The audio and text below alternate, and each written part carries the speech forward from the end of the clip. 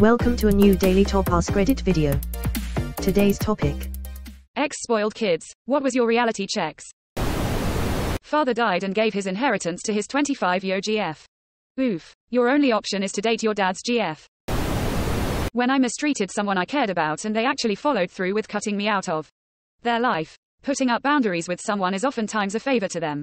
Tell that to the guy from the cask of Amontillado.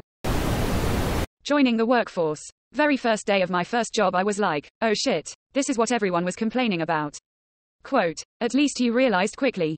I can't tell you how many people we had come into the pub I worked at who seemed to think they were being paid just to grace us with their presence. A few had their parents come in to talk to us and most were self-important pricks. One of them was legit to be fair. The manager had been awful to this poor 16 years old.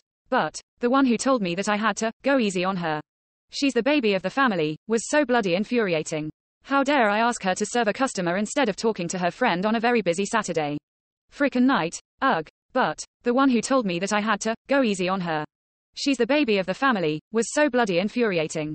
Man. When kids enter the real world and it's a massive shock to discover nobody cares about your feelings, it's a little rough even if you were expecting it. But a parent who doesn't understand their baby is only special to them is beyond help. My mom got seriously ill in cancer and ended up in the ICU for five months. I had to get my shit together real quick now that she couldn't fix my messes anymore. I'm really sorry about your mom. Thank you. It made me a better person, but it's so fucked up that it had to come at such a high price. I was late to the game when it came to applying for colleges my senior year of high school. So when I accepted to go to a school eight hours away from my hometown, I had missed the deadline to apply for a dorm or nearby apartment. I ended up living in a house four miles away from campus with no car. And with the nearest bus stop being a 30 minute walk through tall grass next to a busy street with no sidewalks. I missed my bus the very first day of class and started sobbing.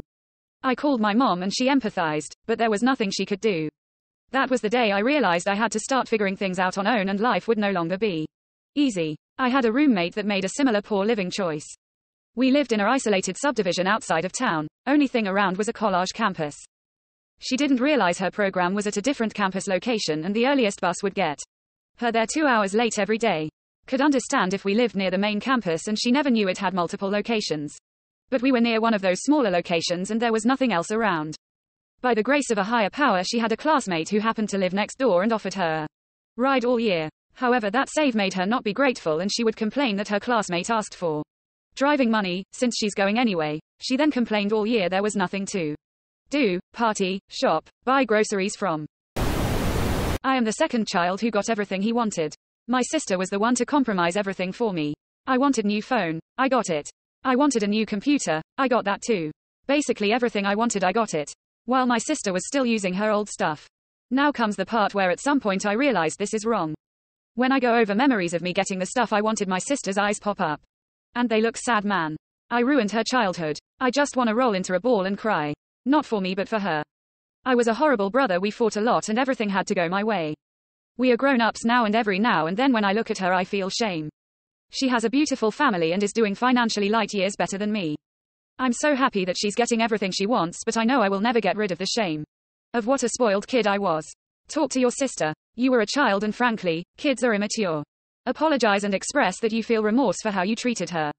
And that you are happy she has seen so much success. You definitely have an opportunity to fix your relationship. Our relationship is amazing right now. There's so much respect between us. Even if I bring everything up, it would just be awkward for both of us. It's just how I feel. When I discovered things like electricity and water come with monthly bills. That hit me when I got to college and did off campus apt living with some friends. I had zero understanding that I had to pay for water. You can imagine my confusion even more when I had to put in $1.25 for the washing machines every week. First thought I had was, who TF carries around loose change? Quote, now I have a little coin separator thingy in my car at all times and keep about $5 of loose change in it just in case. I had zero understanding of bills, full stop. I'd never paid any before because nothing had ever been my responsibility. I also came to the US from the UK, so there was a complete WTF moment when I discovered the concept of health insurance premium. Of course, once I figured him out, then I was appalled at the cost. When I look at today's utility bills, I kinda wish I could go back and be appalled all over again. Because the prices which made my jaw drop at 19 would be cause for celebration today. Seeing my friends and in laws struggle to afford extracurriculars for their kids.